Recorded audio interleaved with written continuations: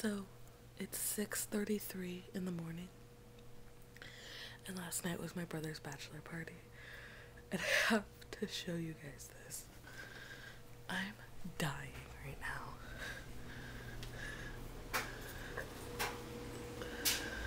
Hold on. So, I'm watching my friend's daughter, who is getting ready for school right now. I go out there to get her some cough drops for her throat. And there are men all over the living room. And I just have to show you guys.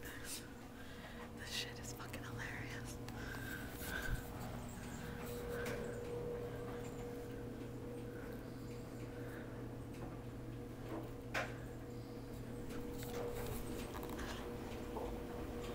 What the hell is going on?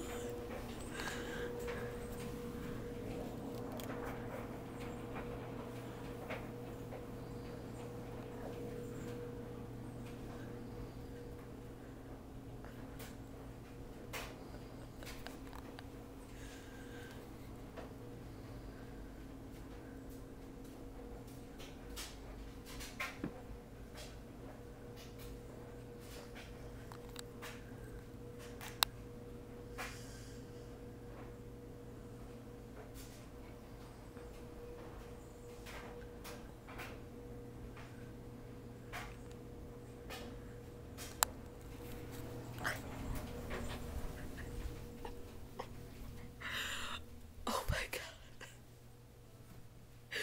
Who sleeps like arms in the air? I'm not even gonna tell him that I filmed this.